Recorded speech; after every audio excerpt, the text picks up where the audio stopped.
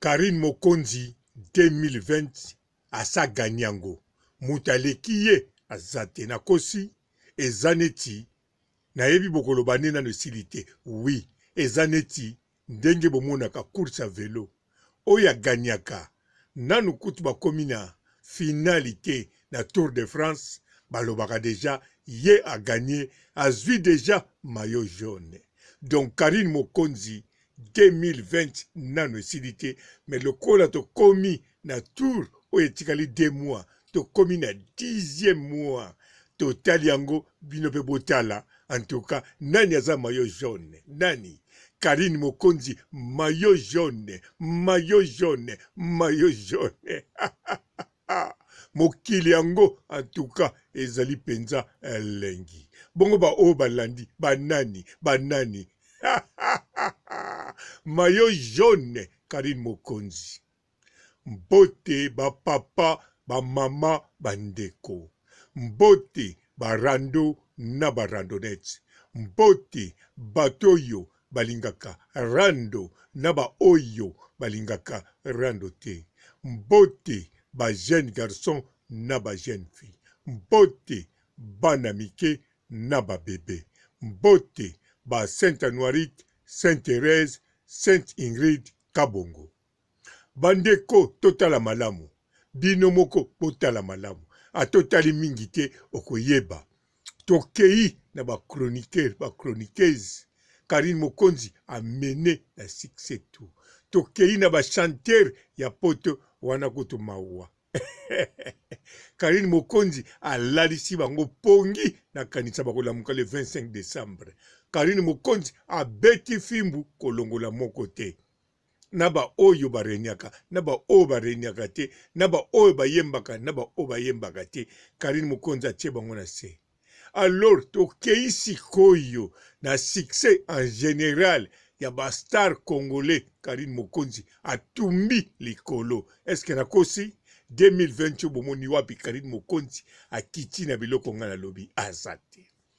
tosangisi bato nyonso bapersonnel public donc ntango nalobi bato to bazalaka public bayebani tokei ntina politike bien sur nakotaka kuna te me nakoti tokei partout toye ti awa nani aza na likolo kaka na succès na nini koyebana eza toujours karine mokonzi Alors inutile tobanda ozela deux mois annee esila oyo oh, annee nano esili te sa zwi deja mayo jaune ndenge bomonaka eske nakosi nazolekisa bon kote mosusu bokokokanisa nazolekisa mpo azali lider ya chine populaire bokoloba papa robo oyo eza analyse te oyo ozosala eza hypothese te oyo ekomi propagande oza kokumisa ye no ngai naza chinois te ngai naza moto ya kalini mokonzi te mpo nasala propagande propagande bato bakosala yango bachinois na bato ya kalini mokonzi ngai nakoloba kaka realite kia ganie aza boye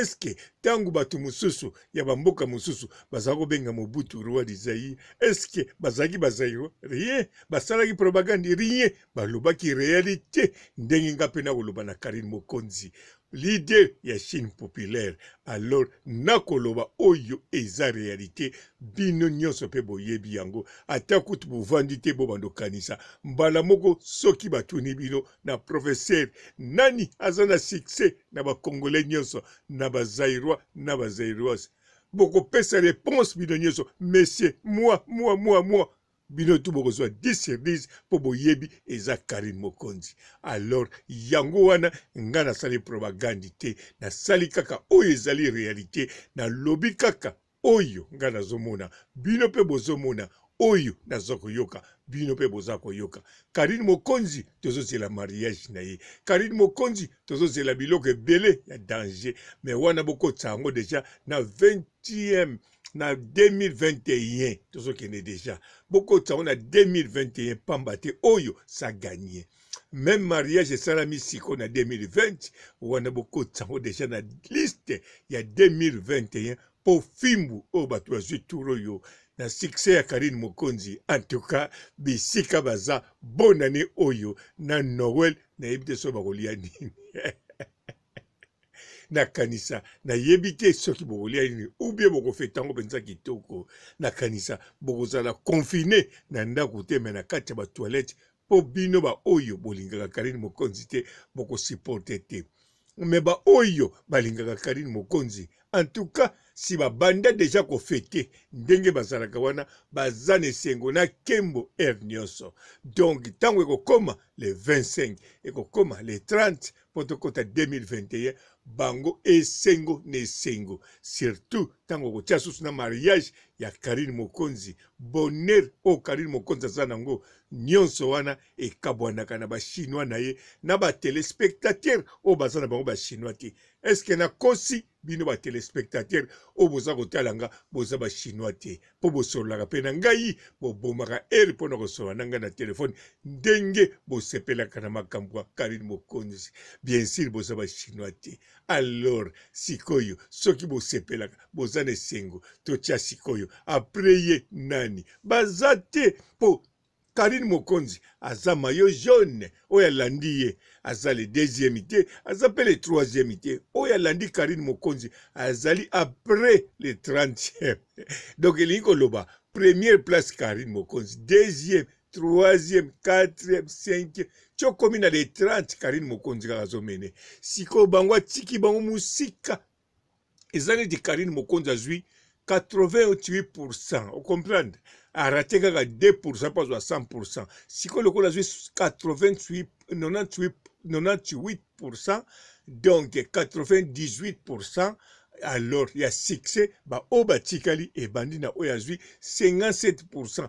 ye wana le 31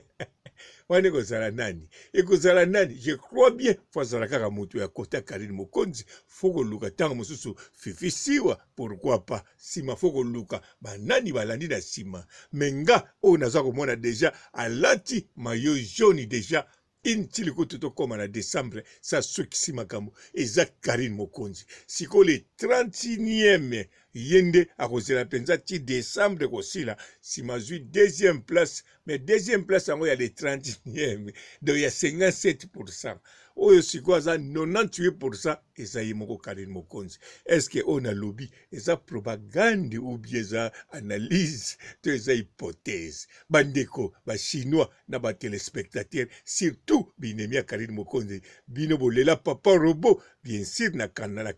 na, na, na kala bozala okanisanga papa oyo ya ngambo kuna me lelo boyebaki naza papa robo bongo ndenge bolela nga nga mpe nalela bino bino mpe tolela na kaka mais boza toujours bindemi ya Karine Mokonzi matanga en tout cas bosala yango ayaya bobanga te oyo eza mpenza analyse te no oyo eza analyse ubi eza hypothèse mais ezali propagande te propagande te propagande eza biloko ya bachinois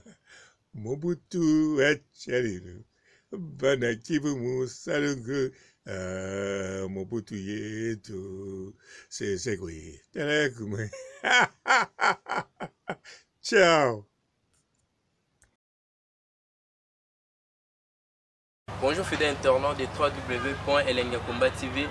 Bonjour, bonsoir, balandi nyonso ya elengi ya komba. Hein? Congolaise TV. Bote belé belé belé partout dans le monde, partout où vous êtes, partout où Zolanda, Elengi ya Combat TV vraiment. Bonjour, bonsoir na ba abonné ba fan nyonso ya Elengi ya Combat Congolais TV. Bonjour à mon boss, on a appelé ça vraiment un pandi. Bonjour à mon boss, Chipekiama. Je salue mon boss Balobi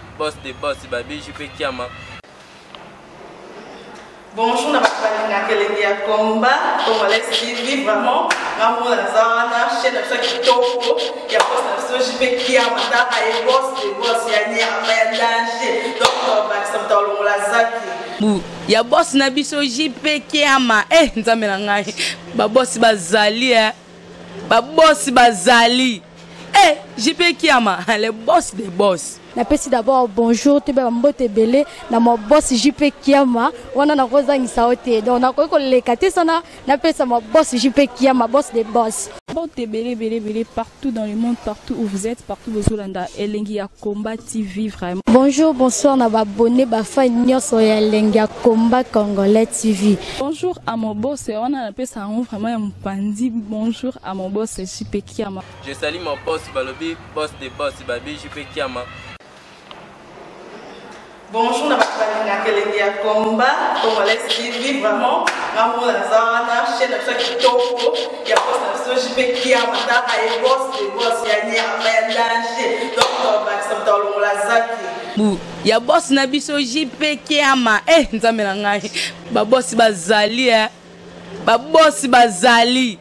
Eh, JP Kiama, le boss des boss. napesi d'abord bonjour toyeba bambote ebele na mabosi jp kiama wana nakozangisa yo te donc nakoki koleka te sana napesa mabosi jp kiama boss de boss